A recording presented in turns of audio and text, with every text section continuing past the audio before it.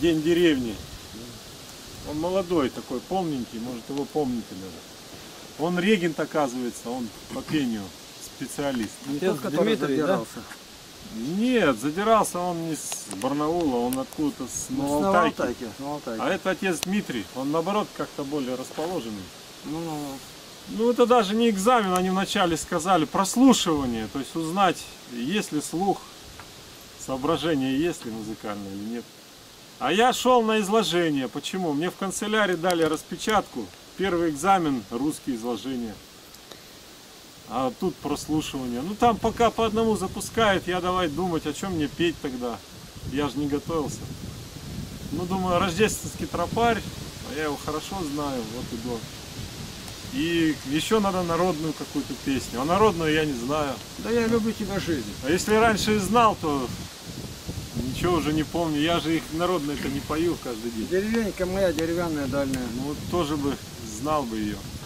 А там гитару семинаристы принесли, молодые, там 18-20 лет поступают такие. И кто-то принес гитару. Ну я захожу, добрый день, добрый день. А он, отец Дмитрий-то меня узнал, видно. Говорит, а кроме того, что вы на гитаре играете, на чем-то еще играете? Ну, на пианино, говорю, играю. Ну и спел он тропарь рождественский. И все песню повторял. Выйду ночью в поле с конем. Она хоть и не народная, но она сойдет за народную. Два куплета. А потом на пианино он сел, стал по нотам. То вниз прошел, нижние ноты, то вверх. Я там А-А ему пел. Но он определил, какой диапазон. Ну, у меня слух-то немножко есть, конечно. Голоса такого нету особого. Вот. Но они что сказали? Что даже без голоса могут поступать. Есть такие. Он наш батюшка, у него тоже особо слуха-то не было. То есть это не определяющий. Если слуха нет, что, не будешь что ли учиться? Может такой вариант. вам. Так что Андрею, я хотел к Андрею сходить и рассказать им, чтобы он не боялся такими глазами большими. Андрею бы надо бы поступить. Сейчас дополнительный набор будет. Но батюшка говорит, что он отказался. напрочь. Набор-то куда? Семинарию. Же, в семинарию с, девя- Барнаульского? с 19 да, сюда же, на это же место. И, видимо, заочно. Ну, так, Все поступили, кто с тобой поступал. ну, по порядку. Второй экзамен, э, русские изложения. Изложение это читают они три раза. Стандарты, говорит, у них как везде, при поступлении в высшее учебное заведение. Все то же самое, те же правила. Никаких они не выдумывают других. Первый раз читают, только слушай, ничего ты не можешь не записывать. Никаких ни глаголов, ни прилагательных, ни местоимений, ничего. Второй раз уже можешь что-то писать. А третий раз тоже можешь. А когда три раза прочитают, все, можешь полностью. То есть излагать, что ты услышал, не сочинять. То были, говорит, у нас сочинители там. Ну вот э, текст был из поучений Паисия Святогорца, старца. Он небольшой был текст. Если вот э, моим почерком писать, эта страница будет э, формата А4, ну альбомного листа. Ну там кто как писал, у кого какие почерки. Ну, чистовик дали, шапку оформили. Знаешь, что такое шапка? Начало. И три часа дается на изложение. Я за полтора часа справился. Вот. Сдается чистовик и черновик. Это я не писал уже давным-давно. Это со школы, наверное. Ну, написал, слава богу. А третий экзамен вот в пятницу. В 9 часов. Основы веры православной, чтение и э, знание молитв. Ну, молитвы я так учил усердно, ни одной молитвы не спросили. Наверное, потому что знают, что я чтец, что меня спрашивают. И ни- никто там ничего не давал мне читать. А именно основы веры. Ну, задавали разные вопросы. Там выходили, сперва отцы шли, которые поступили учиться заочно. Отче. Вот. Ну, там подходили, спрашивали, какие вопросы. Ну, вот такие, кто, кто такой Христос? Вот. Или назови апостолов, 12 апостолов, назови заповеди Моисея, вот такие. Меня спросили, какие таинства церкви. Я ответил, семь таинств. А там один по скайпу был, то ли он не в Барнауле, а где-то там, не знаю. Отец Иоанн молоденький, ну лет 30 ему, он моложе меня. И он спрашивает, а монашество это таинство или нет? Я говорю, нет. А святые отцы говорят таинство. Какой штамп? Святые отцы. Вот так. Это уже придумали они. Семь таинств. Премудрость основала на семи столпах церковь свою. Семь столпов. Ну, еще какие вопросы там задавали? А, какая цель? Цель поступления. Вот. Сложного ничего нет. Любой из наших братьев Ответ-то какой? Цель, вопрос, ответ-то какой дал? Чтобы быть пастырем Христовым, это благословляется и церковью, священное писание это говорит об этом, что это дело бо- богоугодное, и наставники благословляют. Ну вот первый экзамен, когда сдавал, отец Дмитрий, с чего там разговор-то начался, то есть немножко побеседовали. А, что сказали, семейный ты? Я говорю, не семейный. Вот, да как его детей нету? Ну нету, раз не семейный. Занимаюсь, говорю, в лагере воспитатель. А я, говорит, на ютубе смотрел ролик, Игнат Тихонович там, отец Дмитрий это говорит. Говорил, что дети здесь лекарства не принимают. Ну, некоторые, которые больные приезжают. Я говорю, ну таких случаев много было, что приезжают, никаких ни микстур, ни лекарств. Ходим босиком, трудимся во славу Божию. Рассказал немножко, как пилим дрова там, пропал им огород. Ну и прыл слова покойного патриарха Алексия. Нас, говорю, отучили трудиться и молиться. Вот мы и учим трудиться и молиться детей. Ну и все. Дьякон говорит, спаси Господи. За что? То ли что я песню спел, то ли за что. Спаси Господи. Вот, то есть на YouTube они заходят некоторые, не просто так это. Вот визитки мы им раздали, и вы раздавали тоже. Вот. Ну так, ничего страшного нет. Тут батюшка Константина подвигает к этому. А я батюшке сказал, что надо больше братьев. Когда годы гонения были, один священник убит, например, а другой в тюрьме, третий умер. Пусть у нас будет запас. Да. Пусть учатся еще больше. Почему Игоря Третьякова, например? Я с ним разговаривал. Севастьяну сказал, тот пошел, кротко улыбнулся. Ну его другие. Подошел там другим Другие. братьям, да, что-то так. Нет, да нет, я уже старый, я говорю, там батюшки учатся. Лет 60 им по виду дашь. Я не подходил уже возраст, не спрашивал, но лет 60. То есть он уже 50. батюшка и идет учиться. Ну, конечно, заочно. Так что надо больше, и думаю, надо Следующий беседовать зайдет. с батюшкой об этом. Да, Чтобы следующий шли зайдет и поступали. Запасные игроки, когда космонавты готовятся, дублеры, а здесь дело такое. Обязательно надо это делать. Ну а с Владыкой у тебя не было встречи-то? Нет. С владыкой завтра говорят. Ну, да или нет, там непонятно. У них сразу как-то вот неорганизованно. В канцелярии одно распечатали, а расписание экзаменов другое. Как так? Непонятно. Потом сказали нам там, подождите, ждем. Ой, потом на два часа перенесли. Сейчас 12. Вот что-то вот так как-то. Ну, Не в этом плане. То ли у них некоторые преподаватели в отпуске, что-то непонятно, почему так. Ну, предлагали мне там ночевать в семинаре, ну, я говорю, у меня место есть, там молодежи много. Человек 30 поступало, где-то 18 примерно заочников и остальные на Дневное отделение. То есть заочников даже больше. Никаких таких вопросов не задавали, как уральским ребятам. Какое отношение к войне? Нет, этого не было. Какое главное, вот один из вопросов был, какое главное таинство? Ну, какой-то вопрос такой, конечно. Они все важны, я так про себя думаю. Но я ответил, что причастие и привел слова Иоанна Богослова, Евангелие от Иоанна, 6 глава, что Господь говорит, кто не будет есть плоти Сына Человеческого, пить кровь Его, не будет иметь в себе жизни. Ну а с одной стороны важно крещение, Вот церковь. так. Ну я так ответил, правильно, неправильно, рассудите. Но они тебе не... Ну, Ничего не сказали, они промолчали. Молитвы все выучил, их 36 молитв, если с тропарями, двунадесятым праздником. Но ни одной молитвы не спрашивали. Заповеди Моисея. Учил по-славянски, так и не запомнил по-славянски. Аз, мята, проще, проще по-русски рассказать.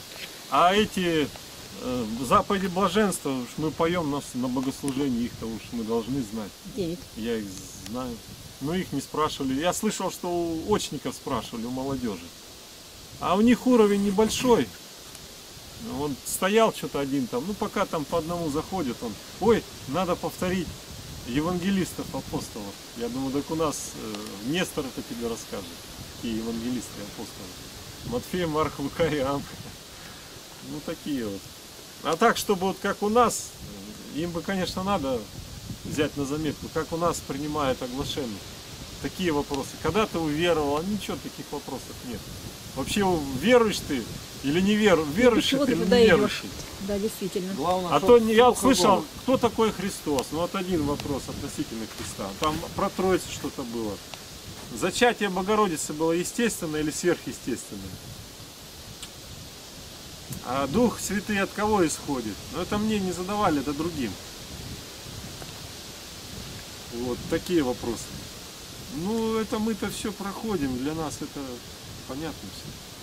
Поэтому я так представил, мог любой из наших братьев поступить, только что подготовку вот, молитву по-славянски выучить обязательно знать. Утренние, вечерние, тропари эти, это несложно, в общем. Да, Каждый да. день примерно часа полтора отводи на это, и все, память. Я до того заучился, по городу иду, повторяю молитвы, там, ну вот как, по Ползунову идешь и поворот на Ленинский. Ну иду, туда раз посмотрел, а в голове молитва, а тут девушка идет. Я с ней раз столкнулся, задумался. Вот так, заучился дорогой. Залучил. 50 и 90 псалом. Ну, я их все полностью по-славянски. Но было такое, такой период, что начинаешь по-славянски, заканчивается по-русски. И все так путается. Где уба, где абачья чима, а где очи. И вот все это перепутано вот так. Думаешь, зачем оно надо? Ну, ничего, надо Им в определенный надо. момент. Они не спросили даже. Ну, вот. Самое вот это, что я учил, учил, не спросили. Все А вот перед Господом. Весь ты свой труд. Ты по телефону-то говорил, что какой-то батюшка говорит, что это и вам нужно, и нам А, нужно. ну вот этот отец Дмитрий. Они так посмотрели там у себя записи. Так из Потеряевки вы первый? Я говорю, да. Ну и дьякон говорит, да, никого не было еще. Ну и помолчали так, а потом, это и, и нам, говорит, нужно, и вам нужно. Отец Дмитрий говорит, А им зачем нужно? зачем нужно? Ну ты думаешь, Чтоб с них снялся вопрос, который стоит с другого места. Патриарха с них, наверное, тоже требует. Нужно. Помоги, А Господи, избирают братья наши в семинаристы. поступали. Ну это отделение. Так, еще раз, какой смысл вопроса ваш? Ну, допускают семинариста. На епископа там не выбирают. Нет, конечно, пока. Экзамены сдать, чтобы епископом стать. Или патриархом. Ну, я батюшке рассказываю нашему, он говорит, да вопросы такие задавали, как ты уверовал, да, Нет, откуда конечно. там. Это вот только у нас такое. Это им бы надо взять на заметку. И пришел вот третий экзамен принимать, ну, такой, ну он мирянин, оказывается, преподаватель. Ну, он полтора Игоря Глушкова, наверное, это я не преувеличиваю. Я думаю, ну что там у него может вариться там? Что-то знает, спрашивает, задает вопрос. И священник тоже был в комиссии уже вот позавчера. Позавчера комиссия была, в два часа. Еще толще был. Отец Георгий или кто он, я его никогда не видел нигде в соборах, но я редко бываю. Тоже такой. И он рассказывал, кто как написал. Фамилию называет и говорит, что нормально. Ну нормально, значит поступил. И всего одного только назвал. Никак, говорит. Никак. А так кое-кого назовет, и зайдите к нам. Ну, может, что с документами там, я так думаю. Документы некоторые не все сдали, я все сдался. Один только потом зашел, сдал. Ну, мне ничего не сказал. Нормально, Са- Савченко, я встал, ну как и все вставали. В. Боготоле сектанты Садитесь. подходят к нам. Первый вопрос. А ты рожден свыше? А ты знаешь, что нужно быть под водительством Духа Святого? Сектанты какие вопросы задают? Ну, А здесь православные какие вопросы? Сравнивать-то не приходится.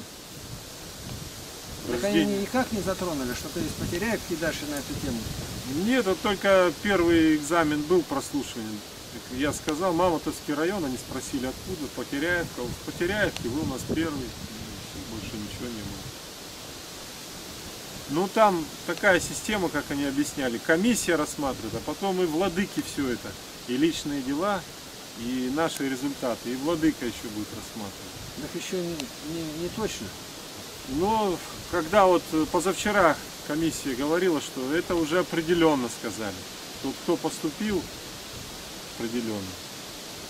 Вот. А у остальных там, у кого там документов нету каких-то, у кого еще что-то там, зайдите, поговорим, собеседование будет.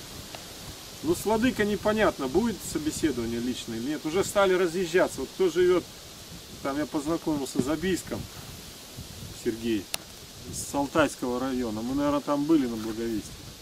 Книги-то завозили. Он уже уехал. Ну и я поехал тоже. Я позвонил там Александру местному. Я говорю, ну ты пойдешь завтра, узнай там что и как, когда сессия начнется. Определенно уже. Я не буду оставаться. Ну хорошо, узнаю. Стал с ним беседовать. Я, говорит, Златоуста читал.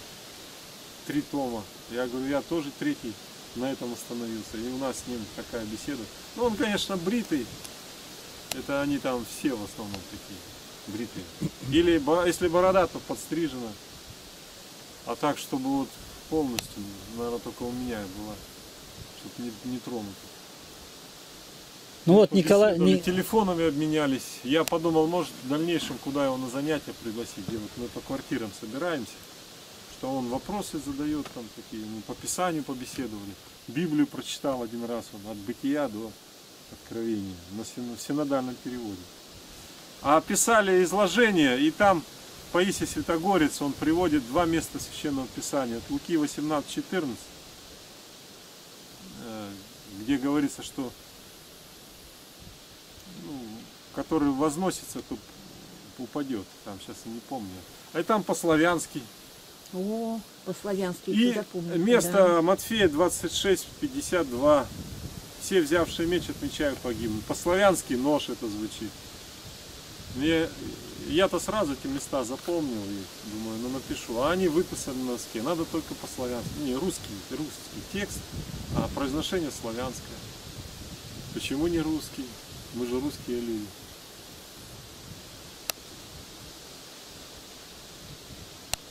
Так, такие Ну, уже особенности. Который не как-то написал, тот поступил. Вообще никак, он не поступил. значит, Это уже комиссия была. Много не поступило. Один, Вот один только назвали. остальные все поступили, да? Поступили, ну, там у кого с документами, потом, говорит, привезете такие-то, такие-то документы. Там же целый набор, пакет документов. Поэтому, ну почему не поступил, кто его знает. Я с ним не разговаривал, не знаю даже кто там. То есть основные критерии это слух и голос на начальном этапе. Ну даже если у тебя слуха нету, ты можешь тоже поступить. Я вот Косте сегодня и говорил. Проверяют слух и голос, но если и того, и другого нет, все равно принимают. Может быть и так. У батюшки нашего не было. Он говорит, я запел, ему тройку поставили. А идите, идите, все понятно. Второй раз он уже, сегодня вот дорога я с ним беседовал. Николай Жорин привез нас. То есть у батюшки слуха не было. и Поступил он. Голоса тоже не было. Но отец Дмитрий говорит, там может быть другие какие таланты есть. Это даже мо- могут и поступить, если голоса нет. Так что, Володя, имей в виду.